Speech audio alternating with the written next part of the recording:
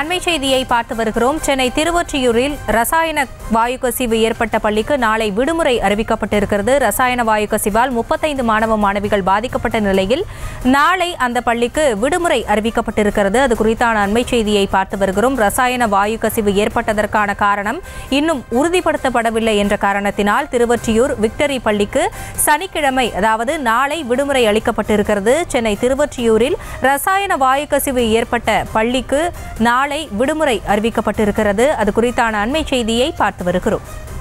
ரசாயன வாயு கசிவால் முப்பத்தைந்து மாணவ மாணவிகள் பாதிக்கப்பட்ட நிலையில் விடுமுறை அறிவிக்கப்பட்டிருக்கிறது. போலீசார் அறிவியல் வல்லுநர்கள் தேசிய பேரிடர் மீட்பு படையினர் ஆகியோர் அங்கு ஆய்வில் ஈடுபடுத்தப்பட்டுள்ள நிலையில் தற்பொழுது நாளை அந்த பள்ளிக்கு விடுமுறை அறிவிக்கப்பட்டிருக்கிறது.